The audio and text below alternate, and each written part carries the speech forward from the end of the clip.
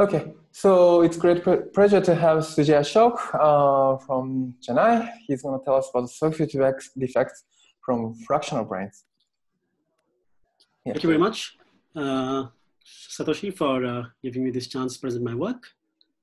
Um, so as he said, I'm going to talk about surface defects from fractional branes. So, so the idea is to realize uh, Gukov-Witten defects in string theory. So one second. So this is work done with my collaborators from Italy, Marco Billo, Maria Frau, Alberto Lerda, at uh, from, from Torino, and my student Sujay Mahato from Math Science. Um, so these, this work appeared in two of these papers. Um, the first one deals with the simplest type of defect, and this is what I'll focus on for most of the talk. And at the end, I'll make a few comments about the more general case. Um, so let me, let me start with a brief outline of what I'm going to do. So I'll start with a, with a review of what Gukov-Witten defects are in n equals 4 super Yang-Mills theory. And then I will uh, try to introduce the setup in which we work, which is uh, to consider fractional D3 branes on a C2 mod ZM type orbifold. And this is the setup that was introduced by Kanno Tachikawa way back in 2010.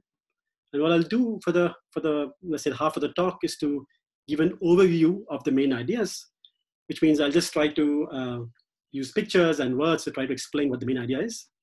And the second half of the talk, I'll try to focus on how we implement these ideas. And the, and the main tool we use will be just superstring perturbation theory. So we'll compute some simple disk amplitudes on the worldsheet in this orbifold background in the presence of d-branes. And then at the end, I'll try to explain how from these uh, open close disk amplitudes, we can recover the known properties of the surface defects in n equals four. Okay, so that's the broad outline. So I'll begin with my review next. All right, so surface defects are codimension two defects in gauge theories. So in four dimensions, it means that these are like uh, two-dimensional surfaces. Uh, so, so they are higher dimensional generalizations of Wilson and 't Hooft line defects in gauge theories. And just as line defects have been very useful in um, trying to uh, uncover uh, or, or, explain the phase structure of gauge theories and they serve as order parameters, the hope is that uh, uh, a detailed understanding of surface defects will also help us do the same and give more input and more understanding of the gauge theory. So we'll, we'll focus on these surface defects in the simplest or the most uh, supersymmetric version of the gauge theory, which is n equals four and we'll stick to the gauge group UN. Okay, so the topology of the surface defect is just a two plane in four dimensional space. Um, so if, if, you look at the figure, you can, you can see that I've represented R4 by this two dimensional plane and the defect is just a line in this, is a complex line in this two dimensional complex space. So in, in whatever follows, I'm going to introduce, I'm going to use Z as the uh, transverse coordinate to the defect. Okay, so Gukov and Witten introduced these defects as monodromy defects. So let me try to explain what that means. So here, here I've shown the transverse z plane to the defect. So the defect is this red dot in this transverse plane. Uh, and r and theta are just the polar coordinates in this two plane. And what, what, what, they, what they showed was that this defect has the, is, is such that the four dimensional gauge fields have the following profiles as you approach the location of the defect. So near the defect, uh, one of the complex scalars of n equals 4, phi, has a simple pole in this z coordinate. And the gauge field uh, takes the following form. So this gauge field is equivalent to a field strength that corresponds to a delta function localized at uh, z equals zero. So there's a sort of a singular gauge configuration for uh, both the gauge field and the and one of the complex scalars of n equals 4. And this profile defines the defect. So in the case of UN gauge theory, let me try to explain in more detail what is alpha, beta, gamma are. So here I've written out alpha, beta, and gamma in the matrix form. Uh, you see that the, so this d theta and 1 by 2z is what I just said earlier. So alpha, beta, and gamma really are a set of real numbers, of m real numbers in this case. And, and this uh, profile corresponds to a breaking of the gauge group at the location of the defect to this subgroup. So UN breaks to this uh, direct product gauge group at the location of the defect. And each of these blocks are Ni by Ni identity matrix. Okay, I, so I, I, I hope this is clear. Here, here I just sort of said in a compact way what alpha, beta, gamma are. Here I'm showing in detail for a generic surface defect. The gauge group is broken to this product form at the location of the defect. And there are some parameters, alpha, beta, gamma, which are real parameters that describe the singularity. Any, any questions at this point? Okay, let me go on with the review. So the defect, as I said, is specified by a partition of n. So these n's, in these, the dimension of these matrices add up to n capital N, the rank of the gauge group. And the parameters alpha, beta, gamma specify the singularity of the gauge field in the scalar the location of the defect. Okay. Now, because the defect is two-dimensional uh, in four-dimensional gauge theory, you're allowed to have one other set of parameters um, in the description of the defect. So the path integral, where you have these kind of singular profiles for the gauge field and scalar, one is allowed to introduce a sort of two-dimensional theta term along the defect. And you can do that for each u and i factor of the unbroken gauge group at the defect. So this introduces another set of m parameters, which I've denoted eta. So the sort of one-line summary of the Gukov-Witten defect is that it is characterized by a discrete set of parameters ni, which are the, uh, the, the ranks of the unbroken part of the gauge group at the defect. And we have four m parameters, alpha, beta, gamma, and eta, that describe both the singular profiles of the gauge field and scalar, and also this sort of 2D theta angle uh, along the defect. Okay. So there's one other thing I'd like to describe in the in the review, and that is uh, um, the non-perturbative S-duality symmetry that exists for n equals 4. So n equals 4 has a has the modular group SL2Z as a non-perturbative S-duality group. And what Kuka show in their paper is that uh, these parameters have a particular transformation under the action of the S-duality group. So alpha and eta they essentially transform as a row vector under this general SL2Z group element. And uh, beta and gamma are just rescaled by this uh, factor where tau is the complexified gauge coupling of the four-dimensional theory. Okay, so this, this sort of concludes whatever we want to uh, uh, sort of reproduce about the defect from the string theory construction. So if you have any questions about this, uh, this is a good moment to ask. Uh, otherwise, I'll just carry on. Okay. Okay, so the, so the goal, as I said at the very beginning, is to embed or to, to realize this uh, surface defect in string theory. And what, what I mean by this is to derive the profiles of the gauge field and the scalar using some string perturbation theory. And what, what we'll do is to engineer this gauge theory and defect using fractional branes in type 2B string theory. So we'll introduce D3 branes to realize the n equals 4 theory in type 2B string. And we'll use the, we'll realize the defect by using this, by, by using an show. And at the very end, we'll check our proposal by, uh, by showing that our identification of the various parameters is sort of consistent with this transformation under S duality, um, as that, that, that I just uh, showed you a slide earlier. Okay, so, uh, I hope that the goal of the, uh, the talk is clear. So you, you only focus on for the n equal to 4? For the n equals 4, that's right. So, okay, so the, the 16 supercharges. Sorry. Uh, yes, 16 okay, Okay, exactly. okay. Okay, good. Uh, so the basic setup is, uh, I mean, this, the idea for the setup goes back to this paper by Kanno and Tachikawa back in 2010, who considered stacks of uh, D3 branes, NI stacks of D3 branes. So these NIs are the same NIs that uh, were the discrete parameters, the defect, on this orbifold. So they considered um, a sort of singular limit of the ALE space, this C2 mod ZM type orbifold. But the interesting thing was that the uh, D branes were not completely transversed to the orbifold two of the directions of the D3 brane were along the orbifold. So here I've shown the D3 brane in blue and uh, the orbifold in yellow.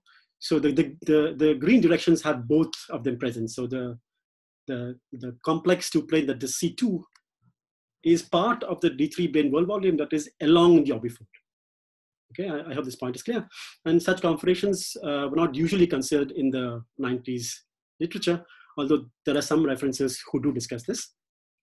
So I've, I've denoted these k parallel and k perpendicular to, to indicate that these parallel directions are, I mean, along the defect, and these perpendicular directions are transfers to the defect. So the defect we'll see will be will be along the first uh, complex plane.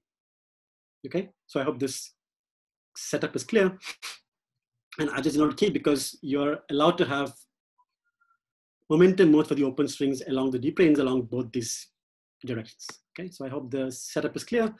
I have an orbifold along two and three, and a d brane along one and two. Okay. Okay, so let, us try to uh, re, uh, recapitulate what Kanno Tachikawa did with this configuration. So they were interested in computing the partition function of the gauge theory in the presence of a surface defect. So they not only consider D3, but they also consider D minus one branes. And they, what they did was to compute the moduli action uh, for this configuration. So they, they, they considered all open strings with at least one end on the D minus one, and they wrote an effective action for this um, resulting theory. And they found that it was an orbifold of the usual ADHM moduli action. And they, uh, and by using omega deformation and so on, they managed to construct the um, partition function or the instanton partition function in the presence of this defect. Now, I should, I should say that uh, the, there was this work by Jeong and Microsoft where they related this, they sort of related this orbifold constructions to other constructions of uh, surface defects using coupled 2D, 4D systems and so on.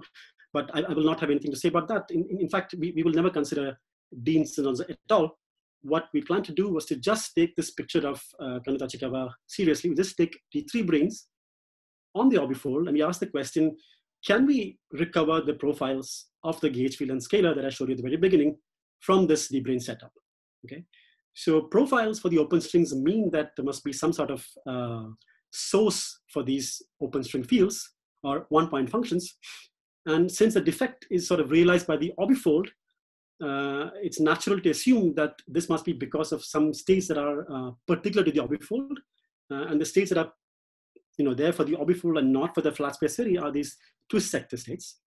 So what we, what our idea was, was to cons consider um, turning on constant background values for the twist sector states, and then check if the open string fields of the D3 branes uh, are, are induced a profile or not. So we want to check if there is any, any sort of uh, source for these open string fields in the presence of some background values for the twisted sector scalars.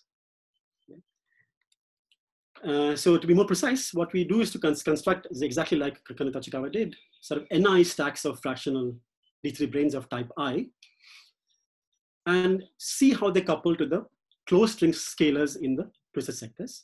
And in particular, we'll compute these kind of open closed correlators where we insert uh, a twisted scalar B in the, in, on, on the disk and see if there is a non-trivial uh, open close correlated with any of the open string fields.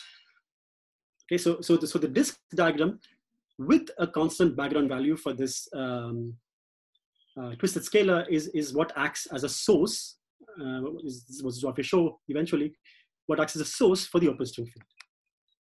Okay, and we will see that this correlator can be computed, this correlator is non-zero, and um, this indeed gives rise to the right profile one would expect for a Gukov-Witten defect. So sorry, let's when, try to see. When you yes. say, I have a question. Uh, so when you say fractional brane, uh, D3 brane, what is fractional about it? So whenever you have branes on orbifolds, they, uh-huh. if, you, if you look at the um, uh, consistent D branes you can define on the theory, uh-huh. they, they, so you you're allowed to have fractional charges. Oh, so in, right, uh, if you have a ZM orbifold, you can have one m yeah. the charge of the uh-huh. regular brane. Uh-huh. So the okay. regular brane can move away from the fixed point in the usual transverse case, but the fractional branes are stuck to the orbifold fixed point. Okay. And it, so about this this figure, so mm-hmm. this figure is about worldsheet. Worldsheet. Yes. Yes. Okay, so we are doing. So we, we, we will construct a boundary uh-huh. state for these fractional D3 branes, uh-huh. and using this boundary state um, formalism, uh-huh. we compute uh, the correlation function between one closed string and one open string uh, field in the presence of this D3 brane boundary condition. Okay, D three is at the at the boundary. I mean, it's it's circle. You mean? I mean, so this is the worldsheet. The topology of the worldsheet is just a disk. Yeah. So the boundary condition that we impose on the disk boundary okay. is that of one of these D3 branes. Okay. Okay. Okay. Thank you very much. Yeah. Sure. Okay, so let, let, me try to explain why um, this kind of one-point functions can give rise to non-trivial profiles for the fields. So uh, it's essentially a simple idea that you can see from a field theoretic picture. If you have a source, some, some source g of x for my scalar field phi, let's say, which is an open string field, then essentially you're saying that the equation is modified. The equation of motion is not just box phi equals zero, but box phi equals the source. And so if you want to understand the effect, the feedback of the source on the profile of the, of the field, you just do a Fourier transform. Okay, so so so this this computation, this this sort of uh, this computation in the presence of this background is interpreted as sort of the um, the source in momentum space. So instead of JFX, we compute from string theory this this J of k, and all, all we do is to compute the profile is to just compute the inverse Fourier transform. And as we'll see, computing this correlator from the worldsheet point of view, we'll get some momentum dependent factor as, the, as, a, as a source. And doing this Fourier transform exactly reproduces the profiles of the Gukov-Witten defect. Okay, so I hope the um, basic idea is clear about how we, we, we, we hope to reproduce the profiles for the defect from string perturbation theory. Uh, are there any questions at this point?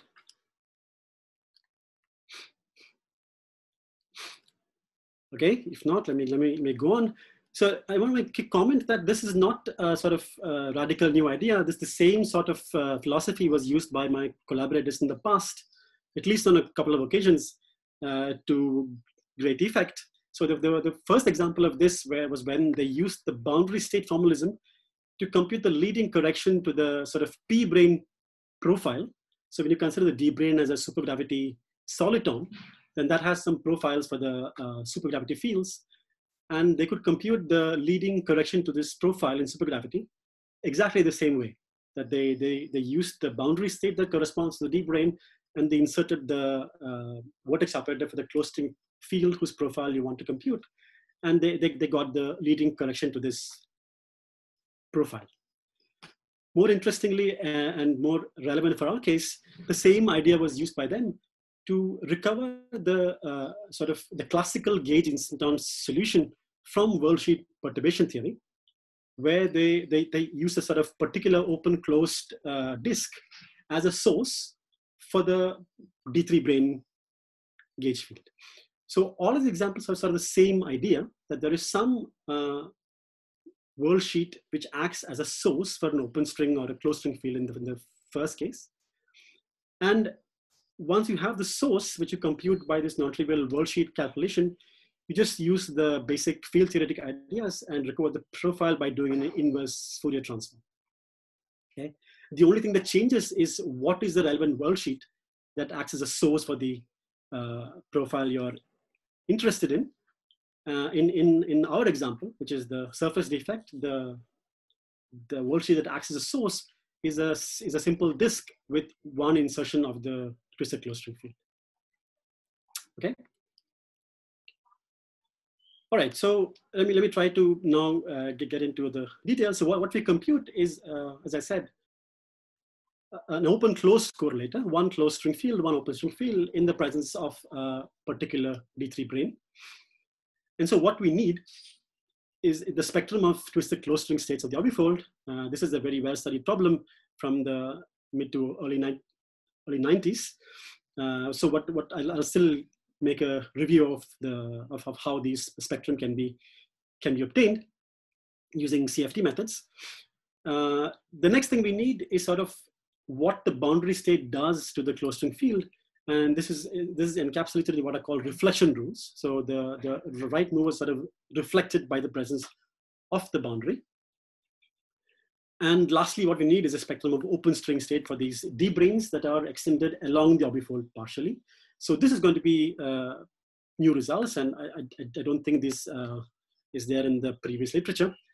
And finally, we'll put these things together, compute the open close couplings using standard superstring perturbation theory, and compute the profiles. Okay, that's the plan. Uh, if there are no more questions, I will uh, proceed with the uh, closed string spectrum. I have a question. Uh, so you wrote a like a B sub B, right? B sub yes. B for for. Yeah. So so you connect this alpha beta ga, uh, gamma eta to this B. The exactly. Exactly. Later. Okay. Okay. Yeah. So in, instead of computing propagating modes, we give uh-huh. a, a particular constant background expectation value to these closed string scales. Okay. Okay. Thanks. And those will act as the alpha beta gamma. Okay. Okay, so now we go on to the, so, so the sort of the overview is done and what I'll do is to uh, go to the technical details. I'll explain the closed string spectrum, uh, briefly mention the reflection rules and then go on to the open string spectrum, okay? So this, this uh, strings on ALE spaces have been well studied ever since the mid 90s. Uh, and Selmy et al. have a very nice discussion from both the geometric as well as worldsheet point of view. But if you look at the Douglas Moore paper in sort of half a page, they're going to list all the things that I'm going to say in the next three or four transparency. So for the experts, I'm sorry. Um, but uh, yeah, I'd, I'd, like to take it slow and sort of explain how what the spectrum is going to be like. Uh, good. So the isometry of C2, of C2 times C3 is, is SO4, of course. And you can write that as SU2 plus times SU2 minus. And the orbifold, which I'll take it to be the simplest case of Z2 for the rest of the talk, is embedded in one of these SU2s. So the unbroken uh, isometry is essentially one SU2. And we'll see that all the closed string um, fields will be representations of this SU2. So you'll find, you know, spin half, triplets, singlets, and so on. And all, all of those refer to these uh, representations of this unbroken SU2. Okay. So because of the orbifold, in the bosonic sector, uh, you have twisted sectors, of course. And the ground state is not the usual NS sector vacuum, but it's created by this twist operator. And this two-twist operator has dimension a quarter for these bosonic fields. Similarly, for the fermions, usually in the NS sector, you have a single vacuum. And in the Ramond sector, you have these uh, spin fields that generate the degenerate vacuum.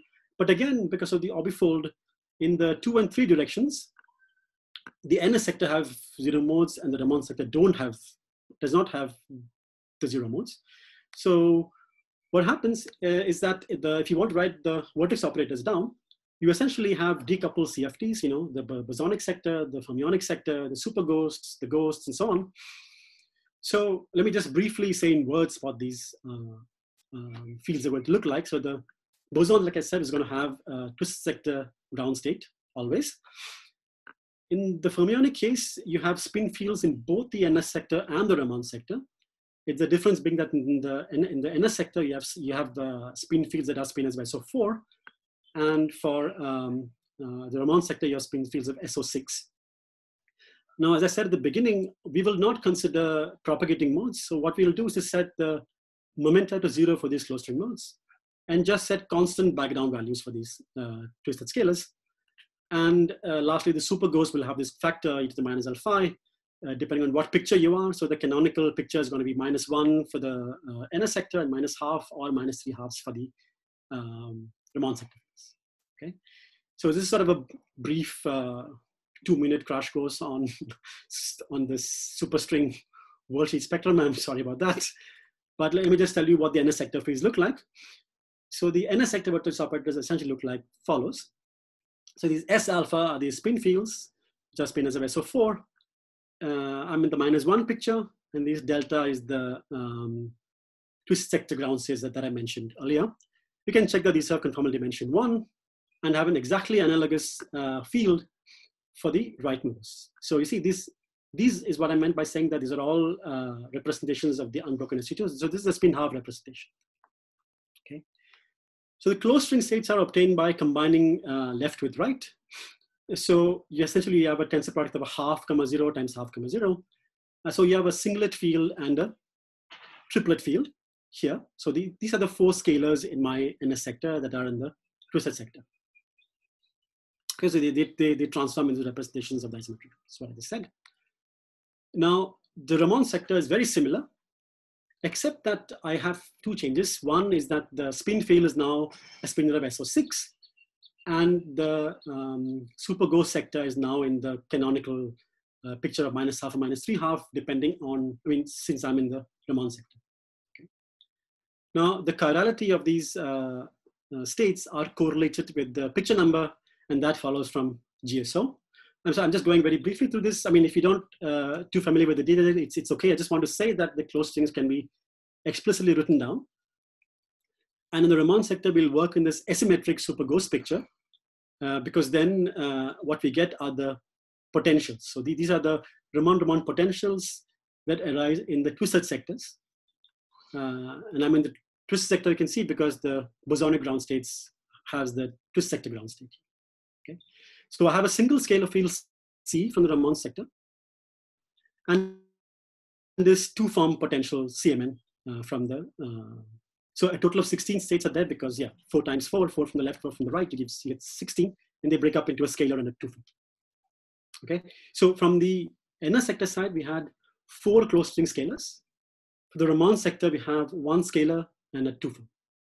Is, is, this, is this part clear? At least the final result? I have a question in previous slides. Yeah. Uh, when you say this B and B, B is a real scalar, BC is some triplet of, I mean, exactly. it takes a value yes. of R, R, R, to, R, R cube or something, right? Sorry, they, they take? B, B, B is the, uh, takes a value of real number, right? B is a real number, yes. So but B is a real right, field. Yeah. Right hand side, what is the information? Yeah, so in, in principle, as, as you said, so I, I just written new b here. What I'll do is to multiply this by a b here, an explicit b here. Okay. When I compute the correlator, I, will just denote by b. I, I, I have not written the polarization here. That's what you're wondering. Oh, okay. Okay. I see. Okay. I'll multiply this by a, a, a real number b afterwards. Oh, okay. I see. Okay. Okay. Good. Okay. All right, so now what we want to do is to, so that so much for the closed string sector, and now we want to add D-branes. And I want to remind you that the D-branes are sort of a partially extended along the orbifold. So what happens is the isometry is broken again. You don't have an SU2 anymore, you just have an SO2 because of the presence of the D-brane. And so what happens is all these closed string fields are further decomposed into just scalars. So you don't no longer have a triplet, the triplet breaks up into a complex uh, doublet. I mean, I mean, just four scalars which we denote B, sorry, B prime and B plus minus. So these are just, so earlier we had a tau C, and now I'm just putting in the explicit uh, Six Sigma matrix, I mean the Pauli matrix uh, tau 3 or tau plus or tau minus. So B plus and B minus are complex conjugates of each other, and B and B prime are two real scalars. In the same way from the Ramond sector, apart from C, we also get another scalar because of this breaking of the isometry, uh, which is this gamma 1 2 part of what used to be the two form Ramond Ramond field from the twisted sector.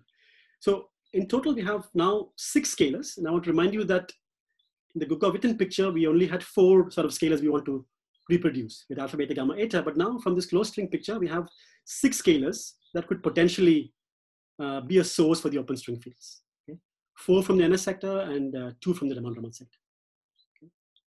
So this, this uh, is, is the um, summary of the closed-string fields that are there in the um, orbifold theory and which are scalars in the twisted sectors. Good. So now, uh, just I just want to briefly mention, uh, without going into any any detail, the additional information that the boundary set provides so what we're interested in, if you recall, is this uh, disk one point function with one open to one closed insertion. If you map it using a conformal transmission to the upper half plane, we have an upper half plane with one insertion on the boundary of the upper half plane and one bulk insertion. Okay, so the way to do this computation is to is to reflect, you know, to use the doubling trick and to reflect the closed string field, and finally have uh, you know three insertions in the complex plane. And this is effectively equivalent to a three point function of open string fields, essentially. Okay? So that, that, that data of how to do this is encoded, sorry, is, is, is encoded in the boundary state.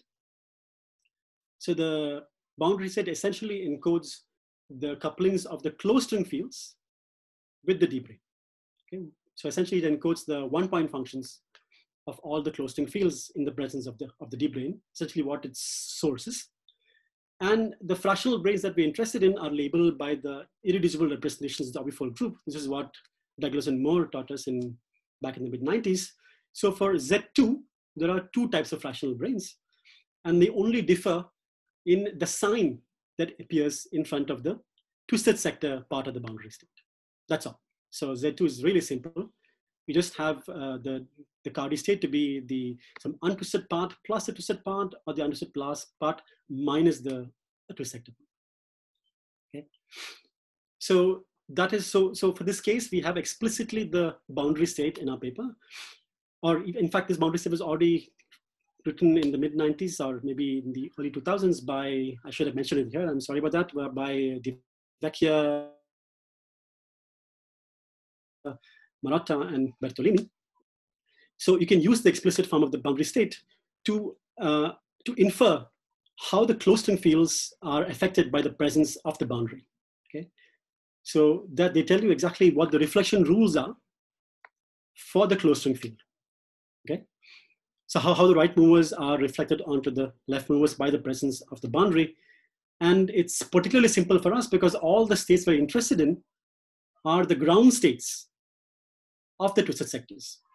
Okay, they're all generated by spin fields and so on. So all you really need is the zero mode part of the boundary state. And that encodes the information about these, about, these reflection rules. Okay. So I've just given you the answer. I haven't gone through the details because it's not really, you know, it's, it's going to take us way off course.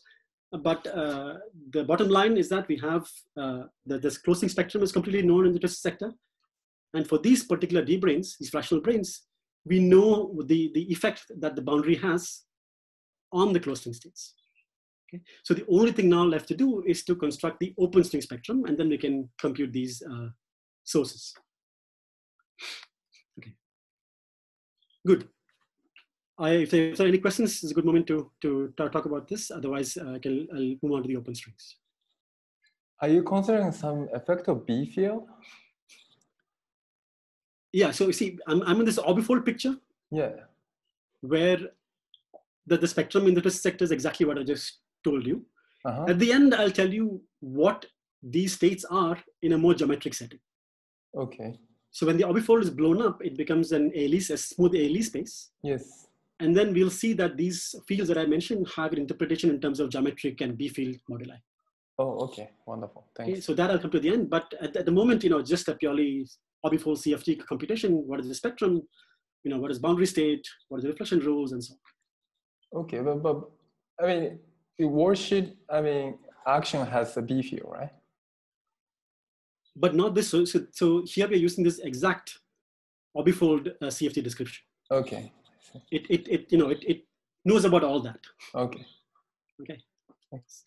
Okay, good. I mean, I'm, I'm not using a sigma model description. I'm using an exact orbifold description. So so it's sort of included inside.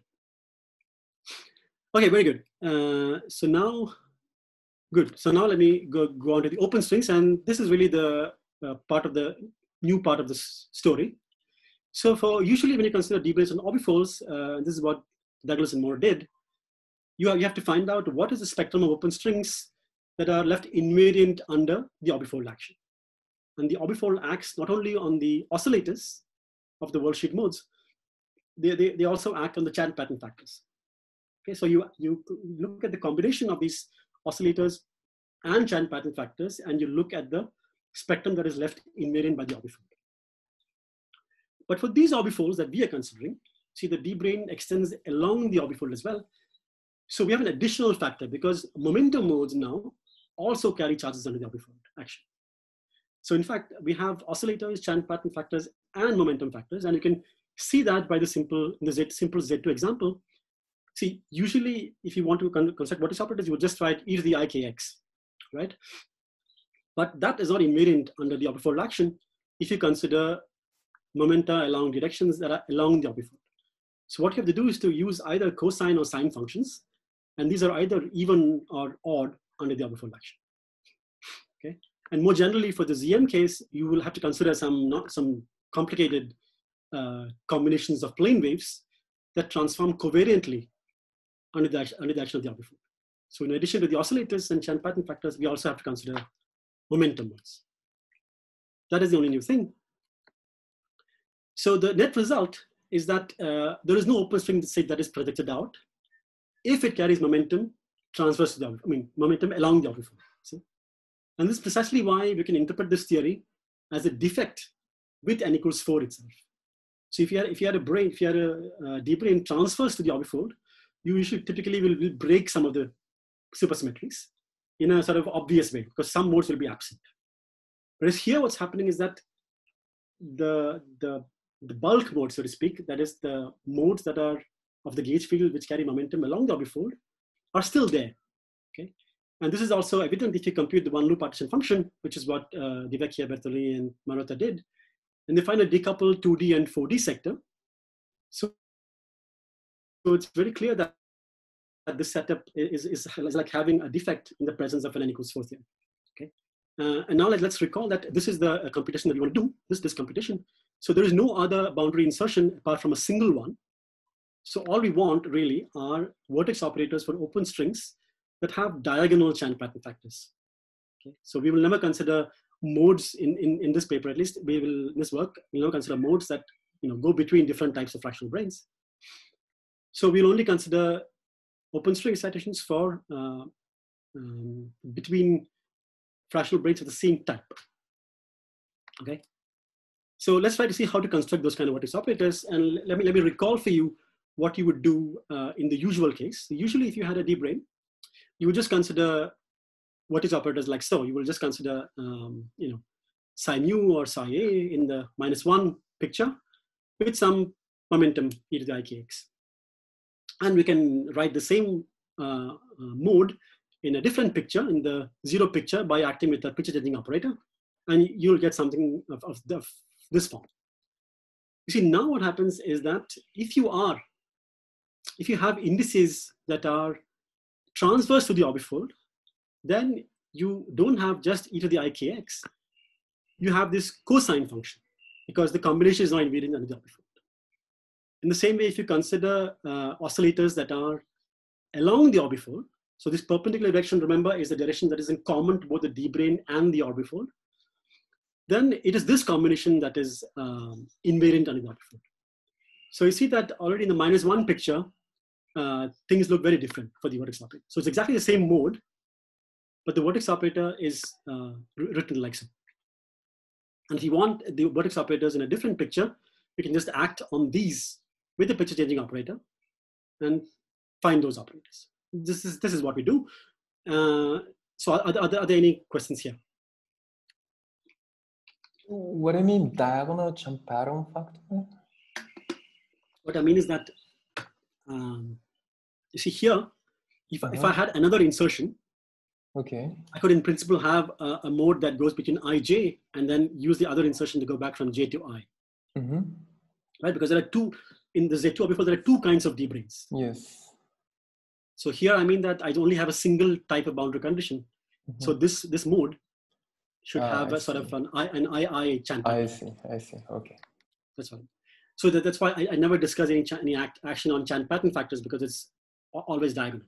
Mm -hmm. Okay. So good. Uh, now the closed string operators that I showed you earlier are, are all in the minus one picture. So already from that, we have a total picture number to be minus two, which is what we need for a non-trivial uh, non-zero co-correlation function. So we need the, um, the open string operators in the zero picture. So I just act on this with the picture changing operator and take my word for it that it, you, you get something that looks like this. And you can check that each term by itself is invariant under the orbifold. Whenever you have a psi perpendicular, it comes with a sine function when you have a psi parallel, it comes with a cosine function and so on. Okay, so we can write the same set of vertex operators, similar vertex operators for also the three complex scalars. See? So if you, if you had considered a completely transverse D-brane, you would not have find you would not have found you know three complex scalars. But now we actually find three complex scalars, and in, in, our, in our paper we, we, we have the vertex operators for all those as well. Okay, so here I've written these gauge fields in a sort of complex notation. So remember that W and W bar are the is the complex direction along the defect, and ZZ bar are the directions um, perpendicular to the defect, but also along the deep. Okay, so, so now we have everything in place. We have all the vertex operators, you know, all, uh, the closed string, the open string. We have the we have the reflection rules. So all we have to do is to compute this three-point function. Sorry, I just want to understand the notation. What is minus one, minus one picture and zero picture? What do you mean? Good. So if I, so this is the, the coefficient of the super ghost is the picture number. Uh-huh. Oh, I see. So the, for a non-zero correlator on the disk, you uh-huh. need minus two total picture number. All the vertex operators, the pictures have to add up to minus 2 uh-huh. So here I have, uh, I've already chosen the closed string fields in the minus one, minus one picture. Mm-hmm. So that already uh, saturates the background charge for the super ghost. So mm-hmm. then I have to use the zero picture for the. Okay, thanks. Sure. Okay, so what we have to do is to compute this this correlator and uh, prepare, use the, I mean, this, this, this integral and division by the projective volume, essentially, you can think of it as the presence of three C ghosts that takes away the, uh, because the disk has the SL2R isometry, you have conformal vectors there. So you have to take away that uh, degrees of freedom. And this, this is essentially just a compact way to write that. So these are my operators. Uh, see, now this, this, this is uh, something that Satish mentioned earlier. I'm now inserting an explicit background field B, background value B for the closed string field, right? So this is my closed string operator. That's my open string operator. I'm just considering as an example, the gauge field in the uh, perpendicular directions to the defect. And all I have to do is to just compute the three-point function. Okay. And the first thing I do is to use the reflection rule and write this as uh, essentially a three-point function on a disk. Okay. And this essentially boils down to just decoupled uh, computations in several free theories. So I have the free bosonic sector, free fermionic sector, superghost, all of these. And essentially, these are the basic correlators we use. The superghost, superghost correlator gives me a simple pole. The one point function of this uh, open string field gives me a delta function along, along the defect. This is going to be really important for us. And all of these are just standard uh, correlation functions in superstring perturbation theory. And the final result is just this. See? And you can recognize this, uh, this factor to be exactly the factor that you would get if you included the C ghost correlators, that the three C ghost correlators did exactly this. So from this three point CFT correlator, one can extract the string amplitude. And this is the sort of one point function, if you wish, for the open strings in the presence of all possible excitations turned on. So I've just summarized the non-zero ones. You know, we've computed we computed all of the other uh, the fields as well. So you, instead of B, we put B plus, B minus, you know, C, C prime, and all of these fields for all of the fields. And only these three and the complex conjugates are non-zero. Okay. So let, let me make, it, make, it, make a few remarks about this answer. So there's always a momentum conserving delta function along the defect, which is expected because there is Poincare invariance along the defect. But there is a non-trivial uh, profile here for there's non-trivial dependence on the momenta in the directions transverse to the defect, but again along the D-brane and along the orbit. Okay. That's, that's one remark. The second remark is that the, remember we had six scalars. We had four from the NS sector and two from the Ramond-Ramond sector. Two of those scalars don't couple to this D-brane at all. So the, the two fields are not B prime and C prime. They give zero correlators to all of these open string fields. So out of these six closed string fields, only four of them give uh, uh, I mean, coupled non-trivially to the open string fields. Okay. Yeah, Satoshi, you have a, you have a question? Yeah, no, no, no additional question. Yes. What is the kappa two, kappa one? Yes, good. So kappa two, kappa one, and so on are the complex momenta. Okay. So I've, you always use complex direction. So this is essentially k3 plus ik4. Oh, okay. I so see, if I, I no, because you know this this field A2 is the complex component of the of the gauge field. Mm-hmm. I see. So so see. comes about that. How, Sorry, how about yeah, B, how, yeah. how- about B prime and C prime? So those, if I can, can I just, I'm sorry what- to flip back. Yeah. Yeah. So let me just go back a moment to the spectrum of the closed string theory. You see, B prime and C prime are these scalars. So you see, in the Okay. Sector had four scalars, uh, similar to the triplet, Uh huh. and that became after the D-brane was introduced, just four scalars. Okay.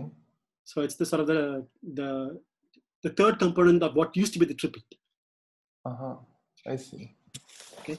So these two guys don't couple to the D-branes, Mhm. to the, at least to these open strings in the presence of these D-branes, but the other four do. So if you Okay. compute the colarity, you you just find zero for B, B prime and C prime, Mm-hmm. and those values what I just told you. Oh, I see. Um, very stupid question. So these B and C are not related to BC ghosts, right? No, no, no, No, no, no, right? no, no, No, right? no. Okay, okay. These, these, Just, these just are the real uh, number, sort of right? The these are real numbers. Okay, okay, and okay. they are the background values Okay. for these particular twisted scalars in the NSNS and Ramond Ramond so, Okay, okay, sectors. thanks. Okay, no problem. Okay, so we have this final result, and you see, this is what we said was the Fourier transform of the source for the open string field. Okay, so let me recall for you what we said earlier, that if you had a profile, if you had a source for the open string field, then you get an equation of the sort, because these are all massless fields. So you had box phi equals the source, and what we just computed is this uh, Fourier transform of the source in momentum space. So if you want to find the effect of the source on the open string field, all you have to do is to Fourier transform by attaching a propagator. Okay. So now notice that all of these uh, sources that we have have a delta function along the defect. So essentially what happens is, although you have a four-dimensional D-brane, right, the momentum integral is essentially two-dimensional, only along the, only including the momenta in the transverse directions. To transverse of the defect, but along the orbifold. And they're all proportional to either kappa 2 or its complex conjugate. So essentially, I'm just written it schematically here. If you do this for Fourier transform for this particular coupling, what you find is a simple pole. Okay, because without this kappa 2, it's essentially the Fourier transform of the propagator, which in two dimensions is just the log function. So you just have one kappa 2, so one derivative, we get the simple pole. So you see in this elementary way how simple poles arise. So now if you put in all the factors of i and 4 pi and 2 pi and everything, what we find is that for the i, it's a d-brane. The profile of the uh, gauge field in the transverse directions give me this factor, 1 by z bar times this coefficient b. And if you use com uh, combined with the complex conjugate, you should recognize that this is exactly the Gukov-Witten um, uh, profile for the transverse uh, gauge field. In exactly the same way, if you do it for the scalar, we find 1 by z. Okay? So now we take uh, n naught stacks of the, the first type, n1 stack of the second type for a un naught plus un1 gauge theory. And we find this profile for the gauge field and the scalar. So this is exactly reproducing uh, the singular profiles of the defect uh, for a Gukov-Witten uh, defect of type, you know, n naught n1. So it's a partition of n into exactly two pieces. Okay. Uh, any questions at this point? Good. So then let me go on to the one remaining uh, parameter, which was the two-dimensional theta term, if you remember. So the, the, the, what, the one thing we didn't discuss was the, was the coupling to the Ramond-Ramond scalar. And at the outset, it looks a bit odd because we have a delta function along the parallel directions, the defect directions, and the coefficient is kappa 1. So it looks like this should be 0. Okay. So indeed, there is no source for the A parallel field. So for the gauge field along the defect, there is indeed no source. However, this coupling does indicate a non-trivial interaction for the defect theory. And that you can see if I just put back in the uh, polarization for this open string field. So if you combine, if you make this combination, A1 bar with the vertex and A1 with the A bar vertex, what you find is exactly the field strength on the right hand side. So this is exactly the field strength in momentum space. So you see, if you had a non-trivial field strength along the world volume, then that is what this coupling is referring to. Although it looks like a zero as far as the source is concerned, it is indeed telling me that there is a non-trivial two-dimensional coupling along the defect. And the two-dimensional coupling just comes once you Fourier transform to real space, as, as I've just shown you here.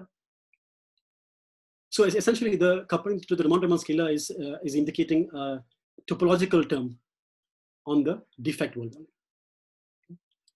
So exponentiating this, this, this interaction term, essential term in the action, what we are saying is that for non-zero background value for the RR scalar, one really has a coupling on the defect theory, which is exactly what we'd expect for the Gukov-Witten defect. Okay? So our final um, uh, conclusion is that the alpha, beta, gamma, eta parameters are identified with the background values for twisted scalars in the NSNS and the Ramond-Ramond sector, okay? with exactly these uh, coefficients. Okay, so let, let, me now finally try to give you one piece of evidence for why we think this is the uh, right proposal. And that has to do with consistency with S duality. And is related to something that Satoshi asked earlier. Now the orbifold background is essentially the zero size limit of a smooth ALE space. And from and, and it's sort of well known from this uh, paper of Anselmi et al. and, and even probably earlier from the early 90s that the scalars in the twisted uh, sectors can be given a geometric or a B field moduli interpretation as follows, that the, the B and C field that I mentioned are exactly integrals of the, excuse me, of the NSNS and Ramond-Ramond two form fields over the, uh, the non-trivial cycle of the blown up ALE space. Okay, so if you combine this with our earlier identification here, what we find is that the alpha and eta are essentially integrals of the B and C fields of the type 2B supergravity theory now over the non-trivial two cycles of the Z2 space, of the blown up Z2 geometry. And it is well known that uh, type 2B, super, type 2B supergravity has uh, you know, an SL2Z uh, S duality. And this is exactly the, the transmission properties for the B and C fields under the SL2Z transformation. And if you go through the details, you'll find that uh, we, re we reproduce exactly the SL2Z transmission that uh, Gukov-Witten proposed for the alpha and eta parameters. So here, the S duality is inherited from the parent type 2B supergravity theory. Okay, and that's also exactly how the SL2Z of the D3 brane theory is inherited from the type 2B supergravity. Okay. And the, the B plus minus, uh, similarly, are, are complex structure moduli of the ALE space so they are metric deformations. And the string frame metric uh, is rescaled like so, and that's exactly how the beta gamma parameters are rescaled. So we feel that this is sort of strong evidence that our identification of the continuous parameters of the surface defect with these background parameters in the closed string theory uh, sort of makes sense. It all holds together. And uh, this is what it is for the Z2 case. So I have a few minutes left, Satoshi. Yes. Yes, yes, of course. Please go. Okay, good. Okay, so then let, let me make a few remarks about what happens for the generic defect. So this is what we did in our second paper. Uh, so the first thing to mention is that the gener by a generic defect, I mean the partition uh, is generic. I have some M uh, blocks in the profiles of the gauge field and the scalars and so on. So I have four M continuous parameters, alpha, beta, gamma, eta. And now here we consider fractional rebranes on a ZM orbifold. Okay, so the ideas, the conceptual ideas are exactly the same. They go through the same way as in the Z2 case, but uh, you know, it's sort of much more complicated. The closing spectrum is uh, very complicated. Uh, the open strings are similarly more complicated. Sine and cos functions are replaced by those combinations of plane waves I, I showed I showed, etc. Sorry about that. Um, but you know, the concept idea goes through exactly, and the final identification is exactly as follows. So the alpha parameter is some combination of the, the B parameters. Now note that the twisted sectors are labeled by conjugacy classes, which are these A's, and the fractional branes are labeled by the irreducible representations of ZM. Those are the I's. Now, there's a natural sort of change of basis between these two.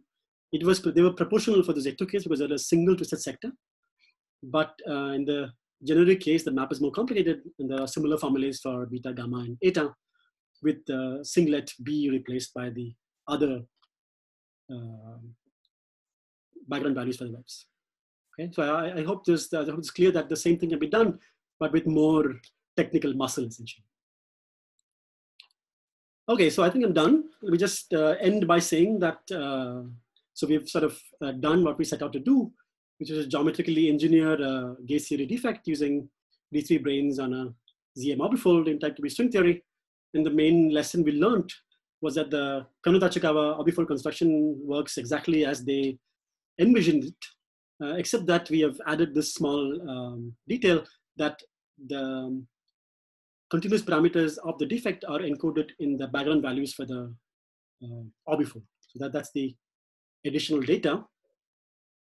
And, and that with this information, we could recover the singular profiles of the gauge theory and also the 2D theta term. I think the more, more, more uh, interesting or exciting thing is the fact that this whole type 2 setup gives us a, a solid uh, sort of framework, uh, a sort of perturbative superstring theory framework where you can ask questions about defects and maybe you can answer them using string theory. You know, and maybe the setup can can help you to ask questions that you would not ask in the purely theoretic framework. Who knows? You know, because you can consider many kinds of D-branes, uh, different configurations. So yeah, I think there's a lot to explore in this setup. So thank you. Thank you very much. Um, any questions? If you have a question, uh, turn on the microphone. Um, okay, let, let me ask one question. So um, there's a work by Aspinwall and the company that the uh, B field um, at the orbifold point is some fraction one over, for instance, Z, C2 mod Z2 case, uh, B field on the, um, how to say, zero size limit of this really orbifold limit, B field yes. flux has to be one half. That's true. Um, so does it mean that the alpha has to be always one half? in this case? Uh, so in, in few few slides back, you mentioned that the alpha is mm -hmm. uh, so sorry b b is equal to yeah, integral yeah, of b uh, b few right? This one, yeah. So this, right. So this, this this was just to this was just to uh, to infer the. I mean, if I just the orbifold point, it's hard to understand how mm -hmm. to uh, how to understand how these uh, twisted sector field transform into S duality. Mm-hmm so to make contact with that, we sort of use the geometric intuition that comes from supergravity. Mm-hmm. Uh, you, you're saying that. Uh, so since you relate to small b is integral of uh, this b field, right? Yes. Yes. Since like yes. Aspinwall uh, and the company will tell us like this small b has to be one half in the zero size limit uh, of LE space. I'm not sure if it is true, uh-huh. but probably it is. But here we're trying to understand, yeah. you know, if, you, if you're trying to understand uh, how, mm-hmm. you know, if you want to, so the, the question here is, if I want to um, see a Gukov-Witten defect mm-hmm. with alpha, beta, gamma, mm-hmm. what do I have to do on the string theory side? Oh, I see. Okay. Right? And, and, then we say that what we have to do is to turn on these uh, closed string fields. I see. And then on the on the, on the gauge theory side, I would see, um, you know, mm-hmm. the alphabetic gamma parameters. I see. I'm okay. not saying anything about the consistency of the closed string theory per se. Uh-huh. Okay. So I'm just okay. using them as moduli fields. I see. Yeah, but there is some like a work by mathematician in, in Indranu Biswas uh-huh. at the TR yes. He yes. somehow interpret this. Yeah, I mean, I think the he, he's working on this mathematical aspect of this Gukov-Witten defect. And somehow by using some stability on so on, alpha can be tuned to some fractional number and so on. That, that's what I. Uh, um, oh, you're saying there are independent mathematical reasons for saying yeah, that? yeah, alpha yeah. be- oh, that, see, that, that ju- justified some asking all result and so. I, I, that's what I thought. But anyway, maybe yeah, No, maybe sorry, I'm I, wrong. I, I don't. Yeah, Okay. Okay. I, I don't have anything to to say about that, that, that at the moment. Yeah, Any other questions, or comments also welcome. comments? How about for the n equal two instead of n equal four? Ah, so those can be incorporated by doing another orbifold. So let me show you this picture I had. Uh, right. So imagine two more planes, right? Uh huh. Yep. And then I would do an orbifold along three and four, let's say. Yeah. So those would get rid of some of the scalars. Uh huh. So in particular, this phi scalar whose profile I just I just uh, Yeah. wrote down, Uh huh. that would be projected out. Yeah, that's true. Okay, so that that won't be there, but alpha will be there just as here, Uh huh. and uh, eta will be there just just as earlier. Uh huh. Uh, so you just, have to redo the computation with an extra close to orbifold. But can you do some Gaiotto construction like uh, Riemann surface times R4? But how do you interpret this orbifold in, yeah. in, in, in, in class S? Do you have some string theory, theoretical picture for this orbifolding? No, I- I- I- That's a good. That's a good question. I, I I don't know how to relate that continuously to this. Okay. don't even know if they're the same type of defect. Uh, Uh-huh. You know, there are those from the 6d perspective. There are these uh, co-dimension two, co-dimension four type of defects. They are different. Uh-huh. So I don't know if that is related to this question you're asking right now or not. Um, yeah, but we just wanted a framework where you know we can use perturbative string theory, worldsheet techniques, Uh-huh. uh, since there's so much literature on boundary states and open string scattering and so on. So we thought it would be nice to have this. Um, and also, we want to understand Kanno-Tachikawa better. We want to Yeah. understand why that, that that construction worked. So Okay. I'm hoping this this gives some little insight to that. Yeah. I see. Any questions?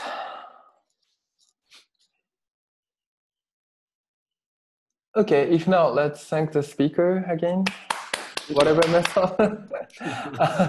next week. Next week, Marcus uh, in the audience will tell us about some uh, Higgs branch and so on. Okay, great. the same time. Uh, I'm, I'm sorry. I, I usually listen to the talks that are recorded because 12:30 India time is lunchtime for me. So usually I I can't, I cannot be there live. okay, okay, maybe maybe That's the problems usually.